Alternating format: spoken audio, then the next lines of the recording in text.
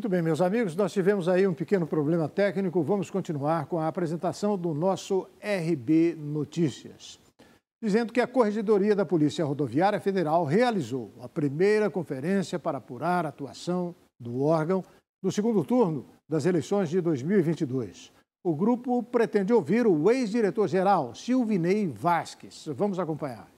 A Corregedoria da Polícia Rodoviária Federal fez a primeira reunião para investigar a atuação da corporação no segundo turno das eleições do ano passado.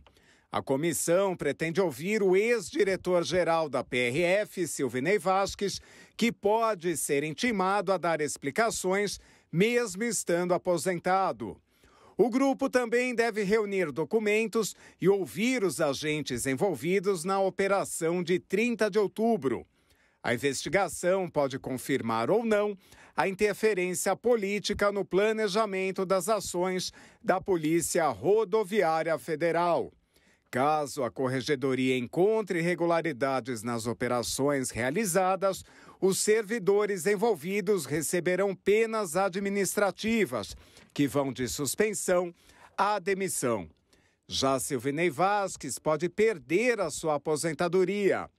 Em depoimento à Polícia Federal, o ex-ministro da Justiça e Segurança Pública, Anderson Torres, declarou que não determinou a PRF que agisse de forma mais contundente no Nordeste durante as blitz realizadas em rodovias federais em 30 de outubro e que Silvinei Vasques tinha autonomia operacional.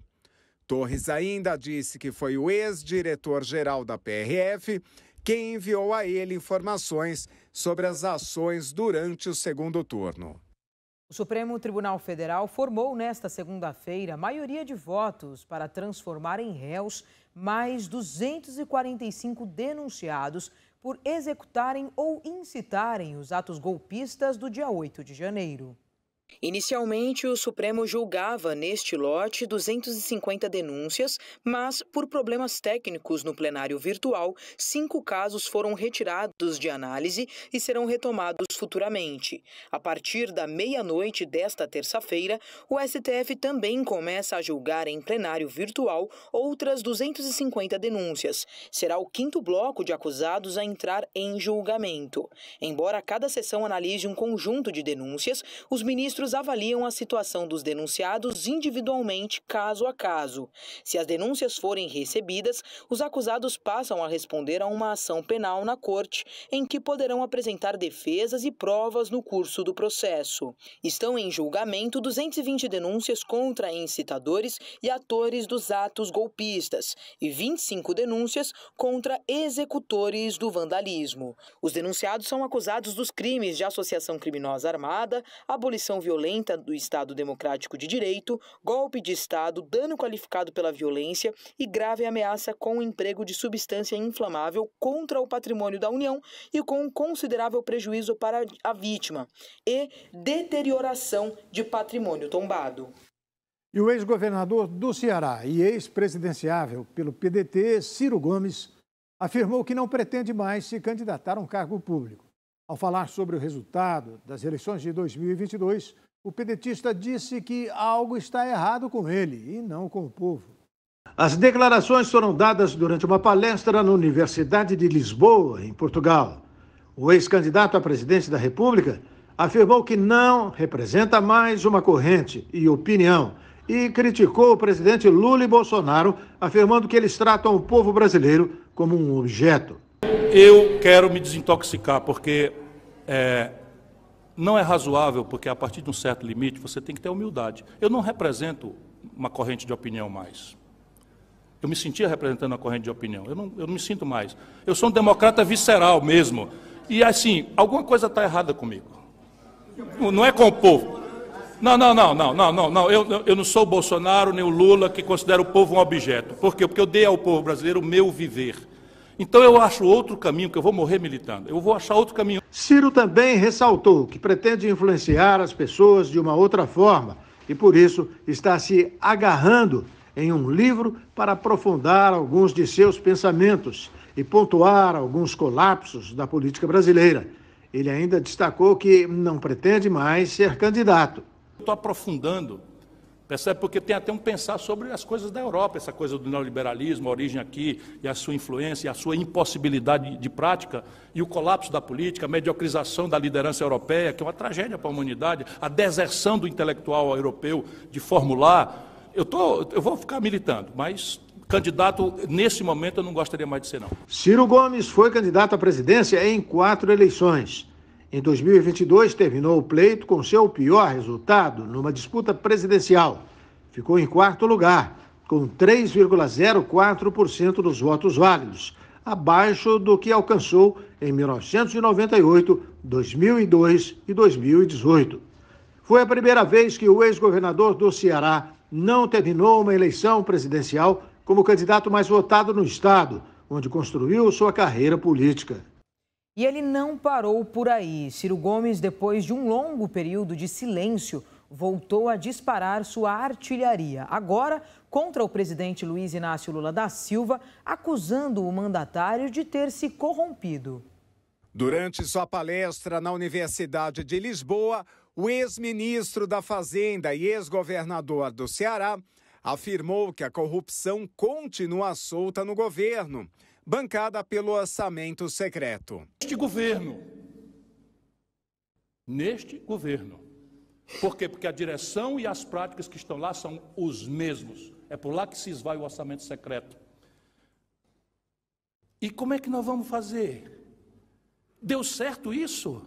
É uma pergunta simples. Caramba, o Lula foi parar na cadeia.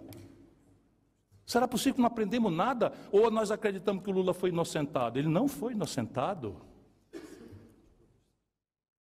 O Lula teve direito à presunção de inocência restaurada, é diferente de ser inocentado num julgamento. Por quê? Porque o processo devido legal ele nunca teve e eu denunciei na primeira hora. Ciro Gomes não poupou críticas ao petista, afirmando que há corrupção contínua no governo Lula. Então ninguém me confunda, eu vou terminar aqui porque isso é criticamente irrelevante. Se não fica assim, o Bolsonaro fazia o orçamento secreto e isso era uma abominação. O Lula fazia é pragmatismo político. Onde nós, o que, é que nós estamos ensinando para o jovem brasileiro? Sabe, o Bolsonaro. E subiu o tom ressaltando que Lula nunca quis mudar o Brasil e que o petista é o principal responsável pelo reacionarismo que tem ocorrido hoje na nação brasileira. O Lula nunca quis mudar não tem compromisso com a mudança do Brasil. É o responsável pelo reacionarismo dominante hoje no Brasil. Porque ganha com isso. Ciro ressaltou que o desmatamento cresceu no governo Lula, mas que ninguém fala nada e que há menos mulheres na gestão atual do que no antigo governo. Além de afirmar que falta projeto e governabilidade na atual gestão. O desmatamento da Amazônia cresceu 14% nesse trimestre em relação ao mesmo período do ano passado do Bolsonaro. Nós temos compromisso com a democracia, com, com a questão do, de gênero e tal. Não diga para ninguém que eu falei. Tem menos mulheres no governo Lula do que no governo Bolsonaro em cargos de comando. Percebe as, as armadilhas? Porque falta projeto. Sabe, contemporizar com o crime em nome de uma pseudo-governabilidade. Que governabilidade é essa? Qual é a proposta? Por outro lado, a primeira-dama, Janja Lula da Silva, afirmou em sua rede social que o Brasil está novamente inserido no contexto mundial. Ao responder às caixinhas de perguntas que abriu em seu Instagram, a primeira-dama, Janja Lula da Silva, pontuou que o marco mais importante desta visita na Inglaterra, na coroação do rei Charles III, foi o acordo de 500 milhões de reais para o Fundo da Amazônia. Importante. Se teve um resultado importante dessa viagem foi isso.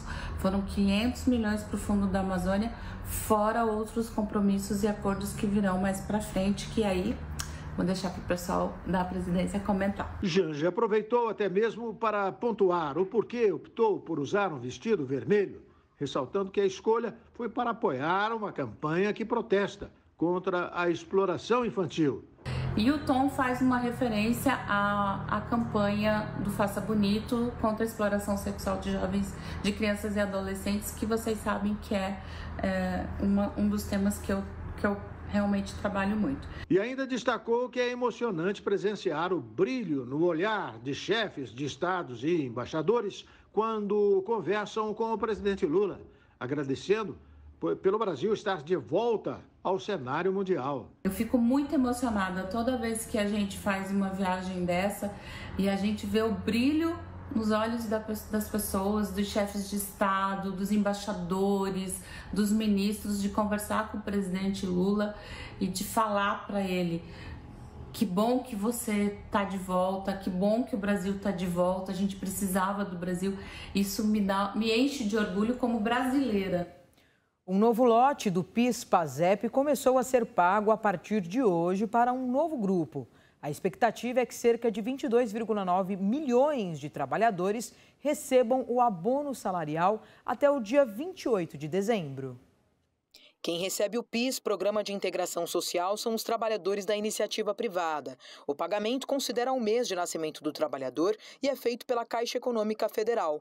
Agora, o propósito do PASEP, Programa de Formação do Patrimônio do Servidor Público, são realizados pelo Banco do Brasil. A referência é o dígito final do número de inscrição no programa. O abono salarial começou a ser pago nesta segunda-feira para ambos os grupos, os nascidos de janeiro a agosto ou que têm um número PASEP CEP com finais 0, 1, 2, 3, 4 ou 5 já podem sacar o benefício referente ao ano de 2021. 20,4 milhões de pessoas são cadastradas no PIS e 2,5 milhões de cadastros no PASEP. Todos os beneficiários podem sacar o dinheiro até o dia 28 de dezembro. Estima-se que cerca de 22,9 milhões de trabalhadores recebam o abono salarial. E depois do intervalo, a Prefeitura de São Paulo lança campanha pelo uso consciente de espaço nos ônibus da cidade. Crateras enormes engolem cidade no interior do Maranhão. O RB Notícias volta daqui a pouquinho.